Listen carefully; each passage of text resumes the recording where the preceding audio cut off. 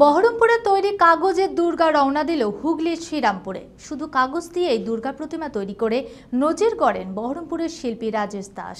প্রতিমায় রয়েছে সাবেকিয়ানার ছাপ। সিংহ, মোষ, অসুর থেকে শুরু করে দুর্গার সমস্ত কিছুই তৈরি হয়েছে কাগজ দিয়ে। ঐতিহাসিক জেলা মুর্শিদাবাদের বিভিন্ন প্রান্তে রয়েছে নানান শিল্পের সম্ভার। আর এই শিল্প তার সৃষ্টি আনন্দে শহরের গণ্ডি ছাড়িয়ে পৌঁছে যাচ্ছে জেলা তথা রাজ্যের বিভিন্ন প্রান্তে। যে অসামান্য সৃষ্টির মাধ্যমে মানুষের দৃষ্টি আকর্ষণ করছেন জেলার শিল্পীরা, তার মধ্যে অন্যতম হলেন রাজেশ দাস। বাঙালির শ্রেষ্ঠ উৎসবকে সামনে রেখে শুধু কাগজ দিয়েই তিনি তৈরি করেছেন দেবী দুর্গার প্রতিমা। প্রতিমায় রয়েছে সাবেকিয়ানার ছাপ সিংহ, মোষ, অসুর থেকে শুরু করে দুর্গার সমস্ত কিছুই তৈরি হয়েছে কাগজ দিয়ে। দেবী হাতের প্রতিটি সূক্ষাতি সূক্ষ্ম অস্ত্র তৈরি হয়েছে। দক্ষতার সঙ্গে নিপুণ হাতে দশভুজার চোখ ফুটিয়ে তুলেছেন বিশিষ্ট এই শিল্পী। দেবীর সাজসজ্জায় ধরা পড়েছে শিল্পী সত্তার গভীরতা। বিভিন্ন কারুকার্যে সুন্দরভাবে নির্মিত হয়েছে দেবীর সমস্ত অলংকার বহরমপুর শহরের তরুণ শিল্পী রাজেশ দাসের তৈরির এই দুর্গা রওনা দেবে হুগলির শ্রীরামপুরে। কাগজ দিয়ে বিভিন্ন মুখোশ বানাতেন এই শিল্পী। বছর পাঁচেক আগে কাগজের তৈরি এমনই এক মুখোশ দেখে দুর্গা প্রতিমা তৈরির কথা জানান হুগলির শ্রীরামপুরের পুজো কমিটির সদস্যরা। এই প্রস্তাবে রাজি হন শিল্পী রাজেশ দাস। নিয়ম মেনে আষাঢ় মাসে রথের দিন শুরু করেন প্রতিমা তৈরির কাজ। এরপর একটু একটু করে কাগজ দিয়ে তৈরি করে ফেলেন দুর্গা, সিংহ, মহিষ, অসুর, কার্তিক গণেশের মূর্তি। দেবতাদের অলংকার তৈরি করেন কাগজ দিয়ে। প্রতিটি দেবতার হাতে যে অস্ত্র রয়েছে, তাও তৈরি এই কাগজ দিয়ে। দীর্ঘ কয়েক মাসের অক্লান্ত পরিশ্রমের পর পূর্ণরূপে সেজে উঠেছেন মা উমা। এখন শুরু মণ্ডপে নিয়ে গিয়ে রীতি মেনে মায়ের প্রাণ প্রতিষ্ঠার পালা।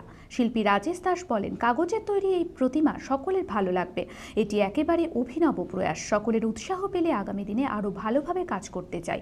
কাগজটা, কাগজকে নিয়ে করার কারণ একটাই যে, সাবজেক্টটা মানে যে মেটেরিয়ালটা খুব সফট এমন হার্ড এমন একটা মেটেরিয়াল যেটা আমরা লেখা করি, লেখা লেখা যোগা করি, কিন্তু সেই কাগজটা দিয়ে আবার নৌকাও বানাই। তো সেখান থেকেই চিন্তা ভাবনাটা যে কাগজ দিয়ে করা যায়। আর সবচেয়ে বড় কথা, এটার মধ্যে কোনো মাটি বা খড়, বাঁশ কিছু নেই। শুধুটাই কাগজ দিয়ে তৈরি।